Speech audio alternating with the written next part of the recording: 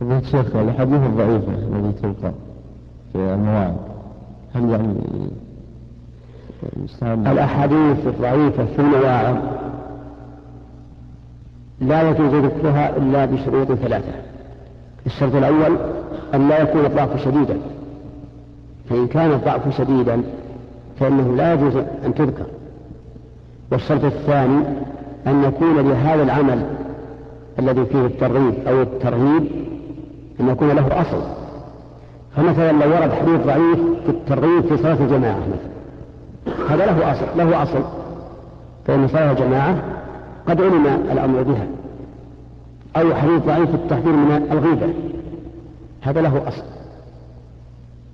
لكن لو يأتي حديث ضعيف في الترغيب في عمل لم لم يكن مشروعا. كصلاة التسبيح مثلا. فإنه لا يجوز الاعتداد به ولا ذكره إلا مبينا ضعفه. الشرط الثالث أن لا يعتقد أن النبي صلى الله عليه وسلم قاله. وهذا الشرط يوجب لنا أن لا نذكر الضعيف أمام العامة مطلقا. لماذا؟ لأن العامي إذا سمع الحديث فسوف يعتقد أنه عن الرسول عليه الصلاة والسلام.